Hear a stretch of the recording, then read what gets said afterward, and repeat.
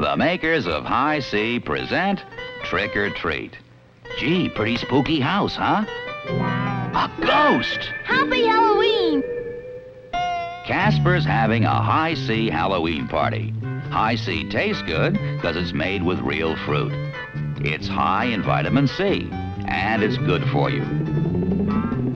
That's why it's called the sensible treat.